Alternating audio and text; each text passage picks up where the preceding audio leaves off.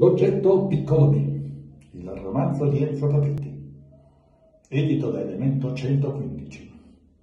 Descrive e inquadra le relazioni che legano un gruppo di persone esposte all'incertezza e alla fluidità dei sentimenti, al disincanto e al disordine delle identità, al gioco dei riflessi fra immaginario e reale.